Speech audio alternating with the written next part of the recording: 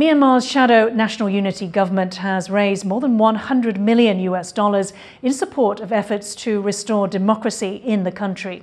Funds were raised through the auction of properties linked to the military junta, which took power in a coup nearly two years ago.